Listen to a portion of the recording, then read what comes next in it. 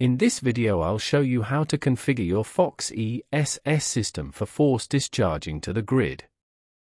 Great for those looking to generate an income from spare battery energy or those supporting the grid during a saving session from Octopus Energy. Note you will need a supported inverter on the latest firmware.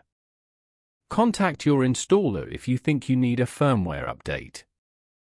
Select device from the lower menu of the Fox ESS V2 app.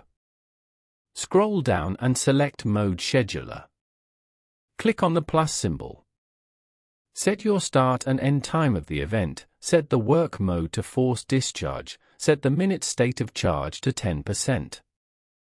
The max AC power is how much power the inverter will output, it's normal to set this to your inverter's peak power rating.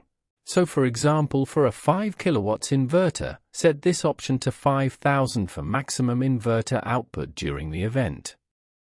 Click Save, toggle the event on and click Submit.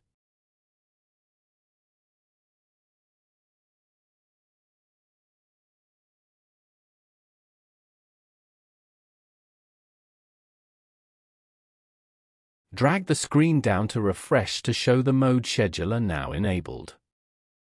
Like and subscribe for more videos.